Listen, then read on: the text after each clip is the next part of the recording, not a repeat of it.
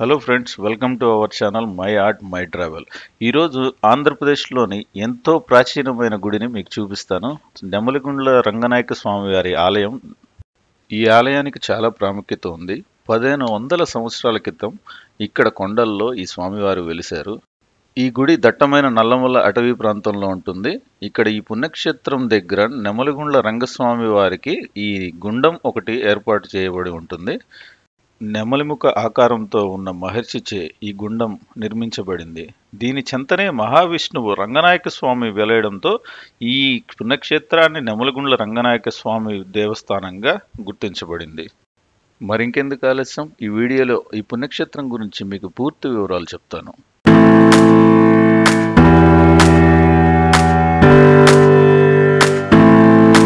ప్రకాశం జిల్లా రాచర్ల మండలం జిల్లివాని పుల్లల చెరువుకి పడమట దిక్కున ఆరు కిలోమీటర్ల దూరంలో ఉన్న నల్లమల్ల అటవీ ప్రాంతంలో నెమలగుండ్ల రంగనాయక స్వామి వారి దేవాలయం ఉంది. ఆలయాన్ని శనివారం మాత్రమే తెరుస్తారు. మరియు సాయంత్రం ఆరయిందంటే ఎవరిని కూడా అనుమతించరు. ఆలయం పక్కనే ఉన్న జలపాతం వద్ద స్నానాలు ఆచరించవచ్చు. ఒక్కరోజు పర్యటనకు నెమలగుండ్లం ఎంతో సౌకర్యంగా ఉంటుంది. చుట్టుపక్కల స్థానికులు మరుసటి రోజుకి కుటుంబ సభ్యులతో బంధుమిత్రులతో కలిసి వచ్చి వనభోజనాలు చేస్తుంటారు. మీరు కూడా వీలైతే శనివారం ఆదివారంలో వెళ్ళి చూడవచ్చు. అయితే మనం గుడి ప్రధాన ఆర్చి దగ్గరికి వచ్చాం. ఇక్కడ నుంచి మొత్తం అటవీ ప్రాంతంలోనే ఉంటుంది. వెళ్తూ వెళ్తూ టైం వేస్ట్ చేయకుండా దేవాలయం యొక్క విశిష్టత గురించి మాట్లాడుకుందాం. ఇక్కడ గర్భగుడిలోని రంగనాథ స్వామి నిజ రూపంలో దర్శనమివ్వడం ఇక్కడి ప్రత్యేకత. త్రేతాయుగ కాలం నుంచి ఈ ఆలయంలో స్వామివారు పూజలు అందుకుంటున్నట్లు చెప్తున్నారు.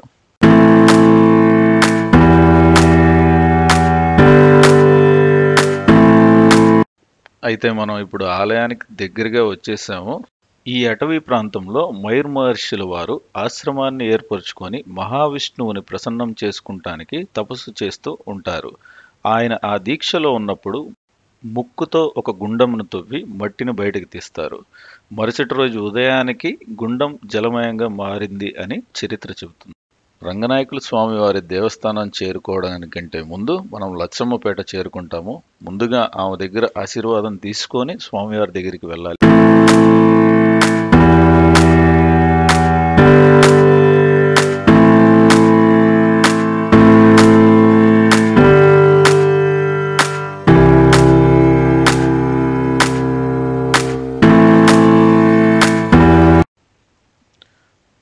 నల్లమల కొండల్లో ఇసుకగూడెం అనే చోట చెంచు జాతికి చెందిన భయన్న భయక్క దంపతులుండేవారు. వారికి ఏకైక కుమార్తె పేరు రంగ. పెళ్ళిడికొచ్చింది రంగను తన కులాచారాన్ని ధిక్కరించి కుల పెద్దలతో విభేదించి మహావిష్ణువుని పెళ్ళాడాలని తలవంపులతో చెంచుగూడెం వదిలి నెమలగుండ్లం చేరుకుంటుంది. మనోభిష్ణ సిద్ధి కోసం మహర్షితో కలిసి ఆమె తపమాచరించింది ఎట్టకేలకు వారి తపస్సుని చెలించి విష్ణువు ప్రసన్నుడై రంగను భార్యగా స్వీకరిస్తారు. మరియు మహర్షి కోరిక మేరకు నెమలిగుండం పక్కనే పడమటి కొండపైన స్వయంభూగా వెలసి భక్తుల పాలిట ఆరాధ్య దైవంగా ఇలవేల్పుగా పూజలు అందుకుంటున్నాడు. దానితో లచ్చమ్మకి కోపం వచ్చి మహావిష్ణువు మీద అలిగి ఒక చిన్న గుహలో అలిగి కూర్చుంటుంది. దానినే లచ్చమ్మపేట అంటారు. అక్కడ ఒక చిన్న గుండం కూడా ఏర్పాటు చేసుకున్నారు అమ్మవారు.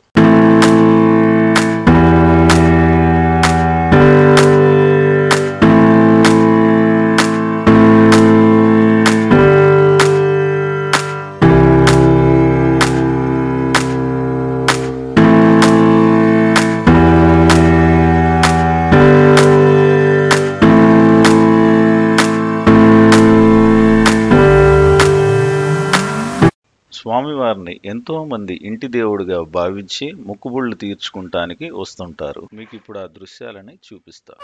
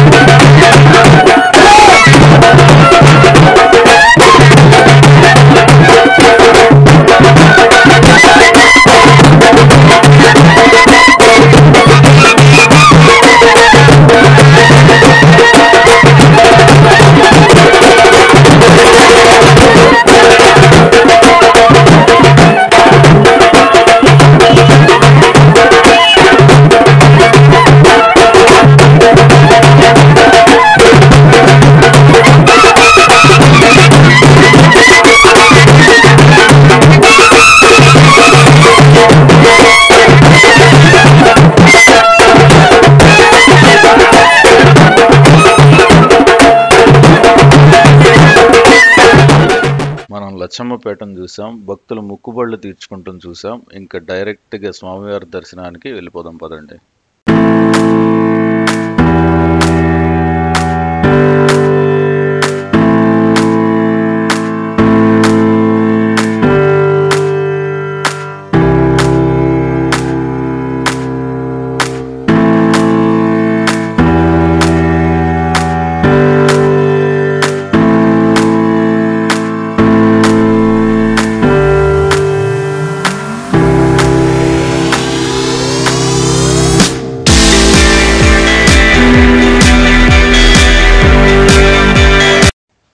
ఇది స్వామివారిని ఊరేగించడానికి ఉపయోగించే రథం.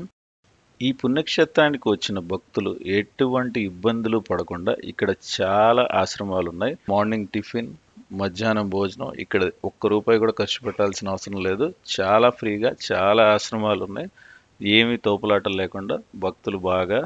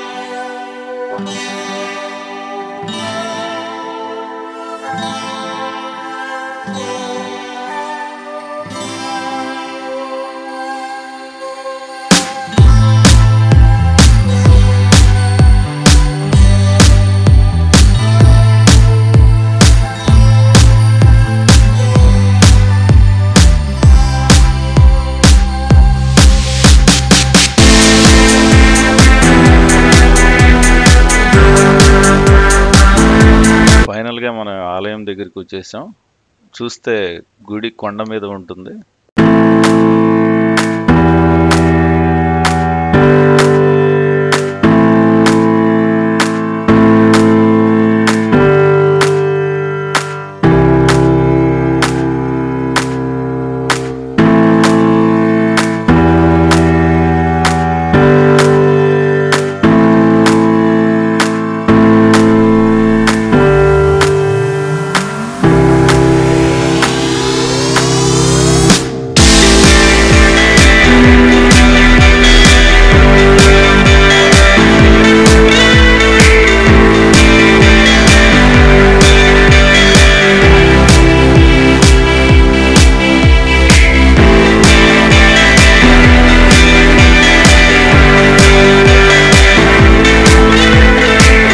నెమలిగుండాన్ని గుండ్లకమ్మ జన్మస్థానం అంటారు.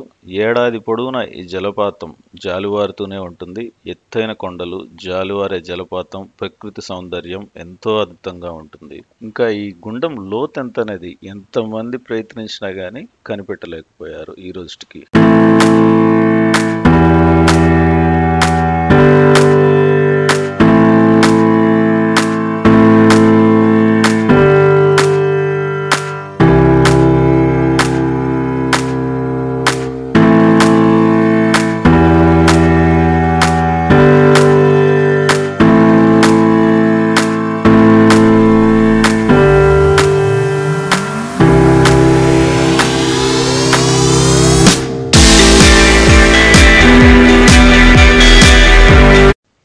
గుండంలోని నీళ్ళల్లో మనం కాళ్ళు పెడితే చిన్న చిన్న స్వామివారి చేపలు వచ్చి మన పాదాలని కొరుకుతూ ఉంటాయి దీన్నే సిటీలో ఫిష్ థెరపీ అని ఫిష్ స్పా అని మన దగ్గర డబ్బులు గుంచుతూ ఉంటారు ఇక్కడికి వస్తే ఉచితంగా ఫిష్ థెరపీ కూడా అయిపోతుంది ఇంకెందుకు ఆలస్యం స్వామివారిని దర్శించుకోవడానికి వెళ్దాం పదండి అయితే ముందుగా నా ఛానల్ని please subscribe like share this video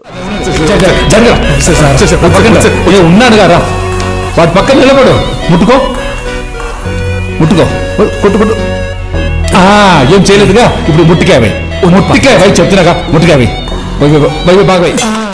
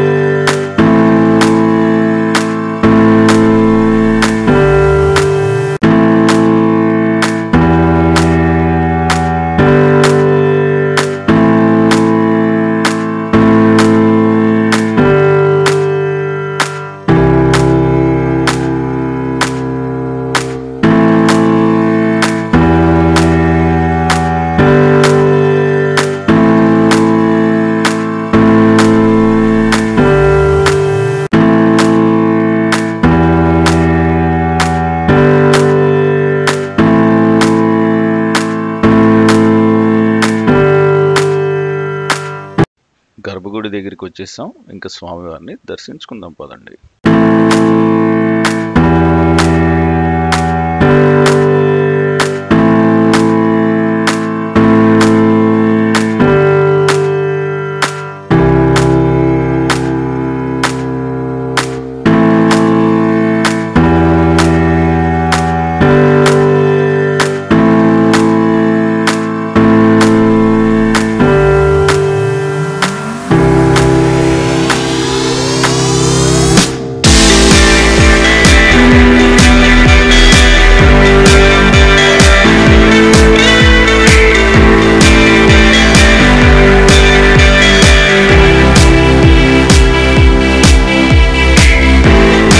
Rangaswamy దేవస్థానం యొక్క ప్రాచీనత విశిష్టత ఇక్కడ ఆయనకి నిత్యం సేవలు అందించే అయ్యవారి చేత మనం పూర్తి వివరాలు తెలుసుకుందాం. యాభై సంవత్సరాల నుంచి అర్చకత్వం చేస్తున్నాను.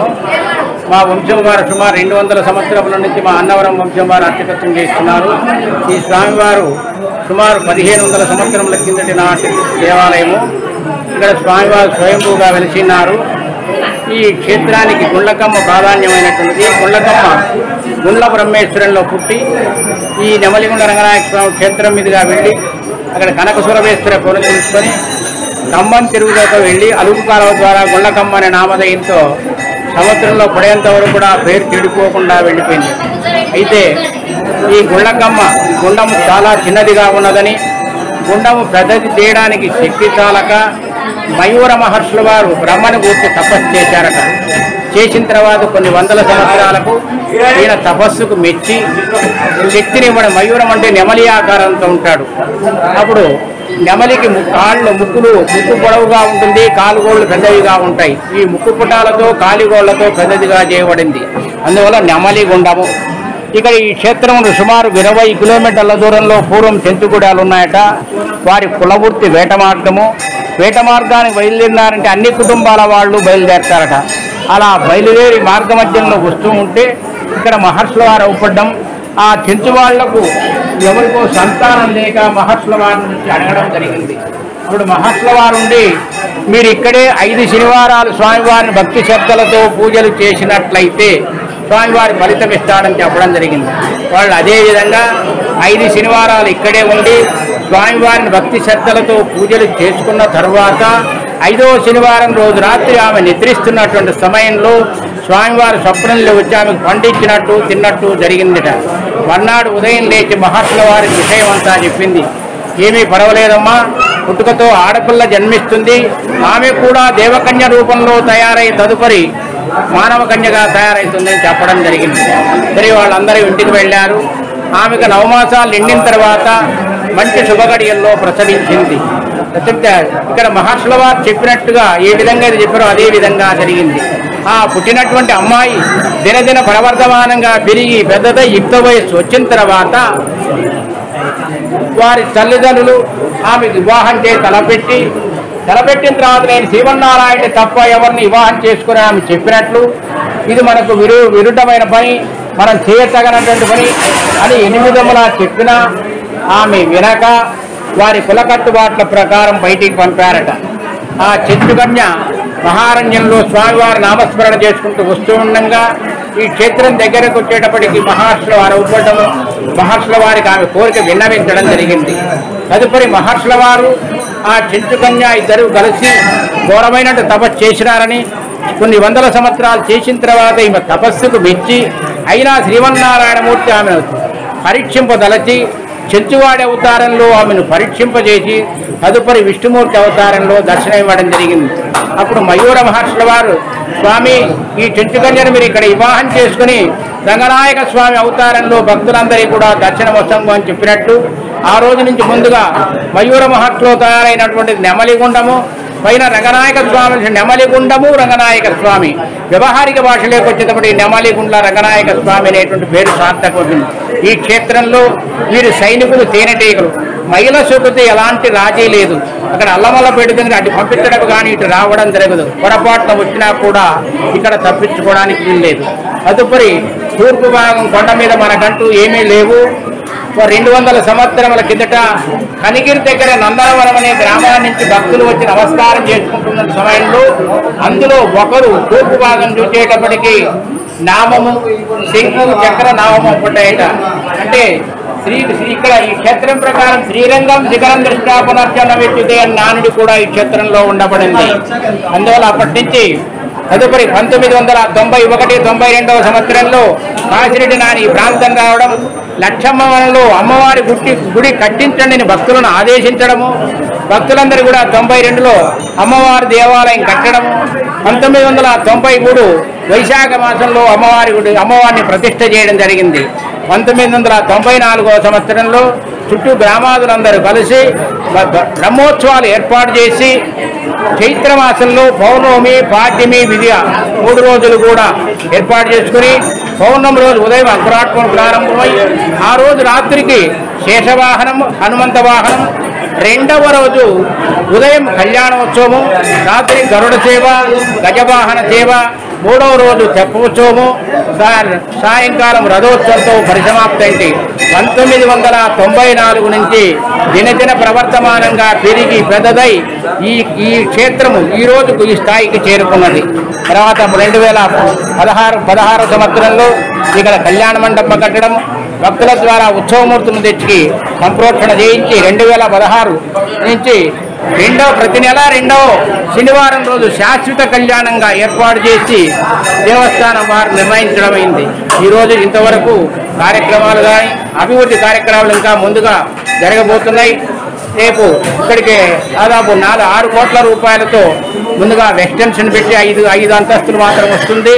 అది త్వరలోనే ఈరోజు రేపు కూడా ప్రారంభం చేస్తారనిగా విన్నవించుకుంటూ సెలవు తీసుకుంటాం భక్తులకి స్వామివారి కళ్యాణంలో పాల్గొనే అవకాశం ఉంటుంది. ఇక్కడ చూస్తే మీరు స్వామివారి కళ్యాణానికి పూర్తిగా ఏర్పాట్లు చేస్తున్నారు.